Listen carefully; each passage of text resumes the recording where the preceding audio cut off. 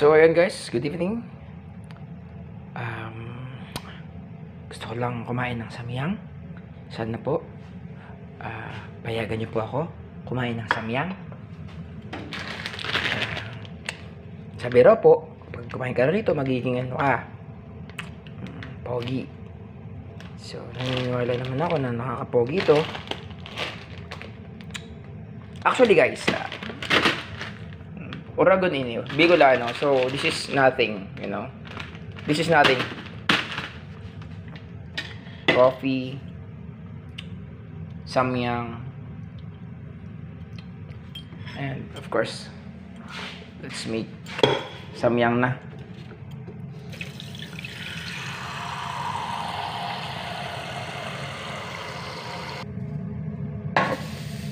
Okay. Tinodo ko na para masaya. Alright, yung, yung baga, pag nakahiling ka mo ng ka, ka iniyo, iyo, ining say na ini, ibig sabihin, very danger. So, this is the spiciest ramen in the world. So, I don't care. Ay, Uragon ako. Karatsan lang, makakulo na si kuyang tubig. Ta, ihahalo na natin ining ramen na ini. Aram ko na, para may thrill. Habang ipapakulo ko si sa tuyang tubig, magkakita ng sarong sugok. Sugok ni ano, Kuya Armando.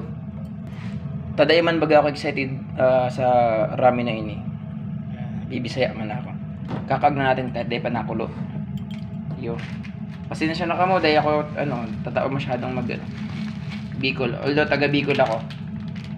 But I'm so trying hard speak Bicolano because you know, my father Armando Libria is pure Bicolano but our siblings Tagalog na lang, nahirapan din ako mag-English pala. Kami magturugang halo ng Bicol at Tagalog ta yung baga ta si mama ko man dahil man purong Bicol magtaram-taram mga taga-Gabon. Ayun share ko lang. Bakit ba? Halo yun mga maray. Nakakainip. Ayun anggot na nadangog ako guys may nadidiscover ako makakabuo ka ng beat dito eh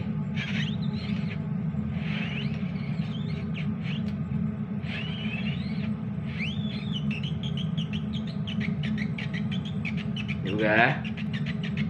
Oh, diba?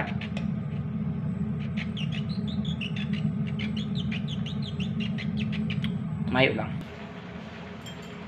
Ole, ole, ole, ole. Ole,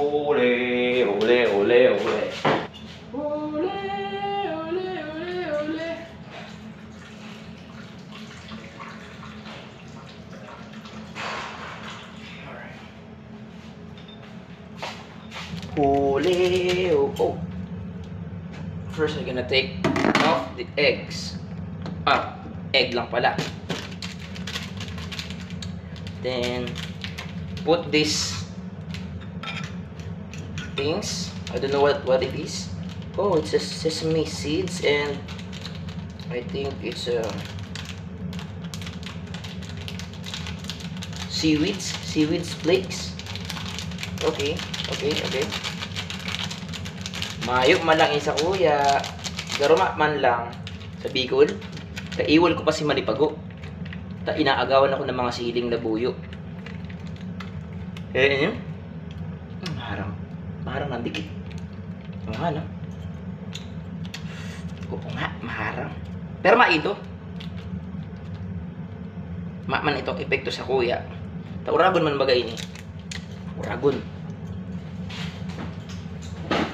Day kabilib, tanong, haputon mo pa si Boy Lado.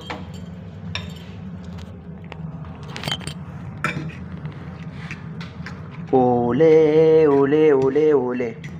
Ole. Ole, ole, ole, ole. Uli, uli, uli, uli. Uli na ng Bicol. Natin kung paano tayo papaiyakan nito.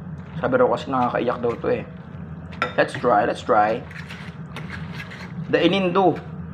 Pagsubukan ng mga Bicolano. Ta ang mga Bicolano. Daiyan na suko sa mga pagsubok. Digdi pa. Harang lang. Let's see. Ito na nga. Obvious, obviously, maanghang talaga siya. Natalisikan ako sa pisngi. And hanggang ngayon, ang anghang talaga, promise. Samyang, samyang na samyang. Samyang na samyang talaga. Tapos meron tayong pampalubag ah, loob sa. Subukan natin. First bite. Ah, sam- Actually guys, ito yung ano, upgraded na samyang kaysa doon sa mga naunang nag-viral na samyang. So, nakita ko siya sa SNR. Kumuha ko ng isang pack, mga apat na peraso. So, sinubukan ng isang ngayon. May tatlo pa ako. Let's go. Mm. Sarap, puro anghang.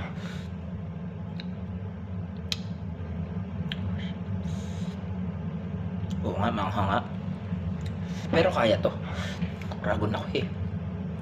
Taga Bicol kaya ako, sa Kaawigan ako nakatira. Ragon. Maanghang nga. Grabe naman to. Dapat di sila gumagawa ng ganito kasi delikado sa bata to eh. Mm-mm. Hindi siya nakaka-enjoy kainin eh. Alam mo yung kumain ka lang ng hot and extra hot and spicy na pansit canton, okay lang. Pero ito parang parang wala namang hustisya, parang di ka naman mag-enjoy, parang hindi talaga siya pagkain guys, parang pang yabang lang siya. Nababaw, agad yung ulo ko. Nakakadalawang subo pa lang ako. Pero kaya ko to guys. Ayaw ko lang magyabang. Humble ako eh.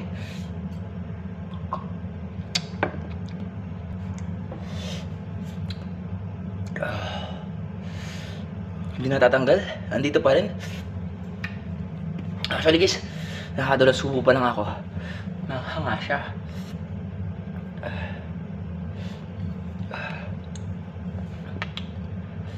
Hindi to makatarungan. Hindi siya pagkain.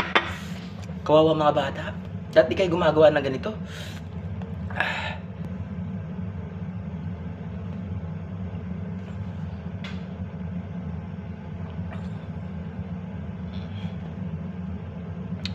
Ito na yung pawis ko. Manghang siya guys, promise. Hindi nakatanggal sa nguso ko. Hindi siya makatarungan. Pang ano lang talaga siya, yung challenge-challenge. Ano ba yan? Hindi, ngayon po sasabihin ko sa hindi lahat ng taga Bicol ha, magaling sa anghang. Actually, I love spicy, pero pagkain natin sa tanas to eh.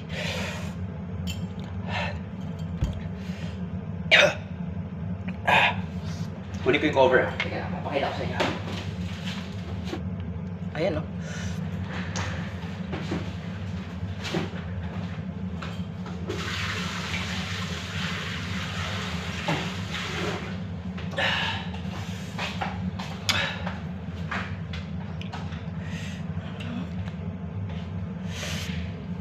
Yeah, parang di ko na kaya sundan. Nakakaasar. Itlog na lang siguro yung kakainin ko. Promise, di ko talaga makain talaga ng yung ano. Ayoko magyabang kasi ang sayabang lang naman. Ako yung magsasuffer. Sana pansis ganito na lang binili ko. Sayang. Di ko rin makain yung itlog, ang init. Parang nadadagdagan yung anghang niya. Cut ko muna, sige lang. So ayan, ang tagal ko rin nagpahinga guys. Pina, pinahupa ko muna or pinatila ko muna yung anghang sa aking bibig. Pero yung ulo kong mapapasin yung basang-basa siya sa pawis. And chinat ko rin yung mga kaibigan ko dito. Suddenly, hindi pa nagre-reply eh. May nag-reply na isa. Kaso lang, meron daw siyang toothache. Masakit daw ipin niya so hindi niya kaya siguro kumain. So, susubukan ko ulit. Siguro kanina mas maanghang kasi may init pero ngayon lumamig na siya eh. Ito, medyo thick na siya. Subukan ko. Ulit. Ang sakit siya.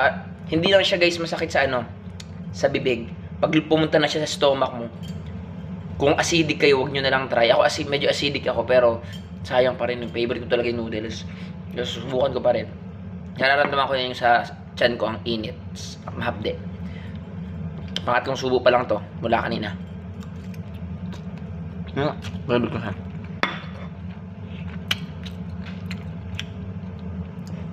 Ito na naman. Pinaka-advice ko guys, kung gagawa lang kayo para sa challenge, huwag nyo nang nguyain. Lunukin nyo na ng rekta. Kasi once nang inunguya nyo, mas lalong tumatagal pa sa bibig yung anghang. Ito oh. Alam mo yung pag kumagat ka ng labuyo, yung mararamdaman mo muna yung parang pait. Pait. Pait bakla. Bighati. Ulit. Wala talagang sarap guys, hindi mo maramdaman yung sarap. Ang may kunting linamnam siya pero ma-overpower siya nung anghang which is hindi mo talaga ma-enjoy. Pero bakit ko nga kinakain? Kasi ang sarap ng noodles, yung noodles niya ang sarap. Pero yung flavor ang anghang. Last bite ko na siguro to guys.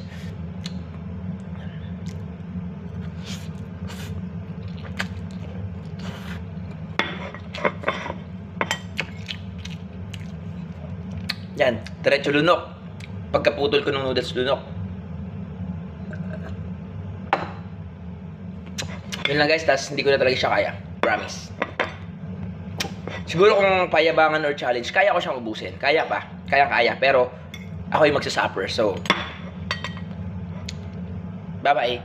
Salamat sa panonood.